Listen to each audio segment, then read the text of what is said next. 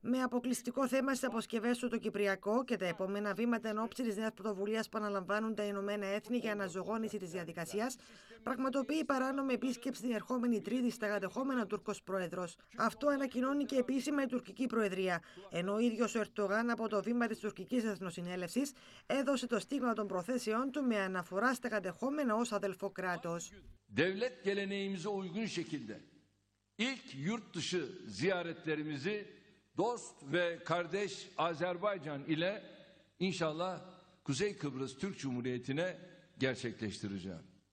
Ενισχυμένο με υπερεξουσίες και συνοδευόμενος από τον νέο Υπουργό των Εξωτερικών του, το όνομα του οποίου θα ανακοινωθεί τη Δευτέρα, ο Ταγί Περτογάν φτάνει στα κατεχόμενα μία ημέρα μετά την τελετή ορκομοσίας του και θα έχει συναντήσεις με τον τουρκοκύπριο ηγέτη Μουσταφά Κιτζή και τον λεγόμενο πρωθυπουργό του Φάνερ Χιουρμάν.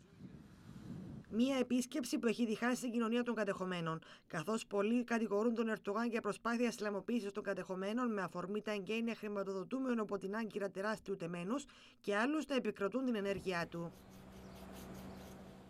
Πρόκειται για το επιβλητικό τέμενος Χαλά Σουλτάν που έχει χτιστεί στη μια μιλιά και αποτελεί το μεγαλύτερο τζαμί στο ανατολικό τμήμα της Μεσογείου. Έχει έκταση 37.000 τετραγωνικών χιλιόμετρων, διαθέτει τέσσερις μιναρέδες ύψους 62 μέτρων έκαστος και σε αυτό θα μπορούν να προσευχηθούν περισσότεροι από 6.000 άνθρωποι.